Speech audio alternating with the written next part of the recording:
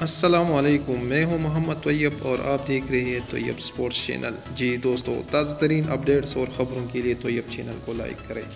جی دوستو، test cricket میں جارحانہ اوپننگ کا انداز سے واقع نہیں، بلکہ شاہد آفریدی نے متعارف کرایا تھا۔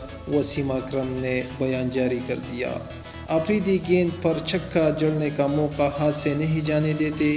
انیس سو ننانوے دو ہزار کے دورہ بھارت سے قبل عمران خان سے مشاورت کی تو انہوں نے افریدی کے ساتھ لے جانے کے فیصلے کو سراہا۔ سابق کپتان نے یہ بیان جاری کر دیا۔ قومی کرکٹ ٹیم کے سابق کپتان وسیم اکرم کا کہنا ہے کہ ٹیسٹ کرکٹ میں جارحانہ اوپننگ کا انداز وریندر سے واقع نہیں، بلکہ شاہد افریدی نے متعارف کرایا تھا۔ اپنے ایک انٹرویو میں ترپن سالہ وسیم اکرم نے کہا کہ پاکستانی آل راؤنڈر خراب گیند پر چکا جڑنے کا موقع ہاتھ سے نہیں جانے دیتے تھے۔ حتیٰ کہ اگر میں بھی بالنگ کرتا تو مجھے پتا تھا کہ گیند تھوڑا سا بیس انیس ہوا تو افریدی باؤنڈری مار دے گا۔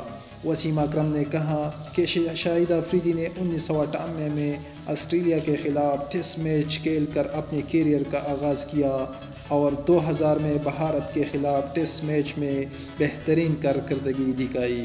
وسیم اکرم نے کہا کہ افریدی کو بھارت لے جانے سے قبل میں عمران خان کے ساتھ فون پر مشورہ کیا اور انہوں نے کہا، لے جاؤ، یہ ایک میچ جیتوا دے گا۔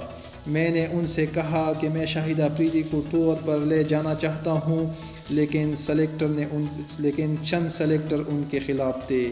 عمران خان نے مشورہ دیا تھا شاہد آفریدی سے اوپننگ کرانا وہ ایک آدھا میچ جتوا دے گا۔ وسیم اکرم نے بتایا کہ افریدی نے چنائی کے میدان میں انل کملے اور سنی جوشی کی گیندوں پر چھکے مارے اور ٹیم کی فتح میں کلیدی کردار ادا کیا۔ آفریدی نے چنائی ٹیسٹ میں شاندار سینچری سکور کرتے ہوئے پاکستان کو پتہ دلا دی اور ان کے بیٹے اور ان کے بیٹنگ بھارتی باؤلر کے نیندی حرام کر دی تھی۔ بھارتی اوپنر وریندر سہواگ اور آسٹریلیا کے ڈیوڈ وارنر نے ان کے بعد چارحانہ اوپننگ کا انداز اپنایا۔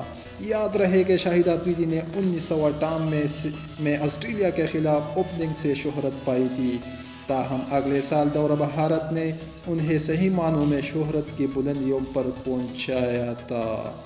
جی دوستو، تازہ ترین اپڈیٹس اور خبروں کے لیے طیب چینل کو لائک کریں۔ نیکسٹ ویڈیو کے لیے انشاءاللہ پھر ملیں گے۔ تب تک کے لیے اجازت دیجیے خدا حافظ۔